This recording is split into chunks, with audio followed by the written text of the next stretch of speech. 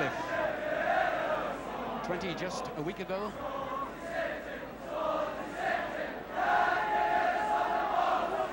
Wales do build, to building up patiently.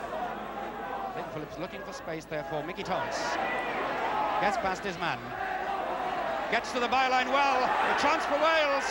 Must be a goal for Giles.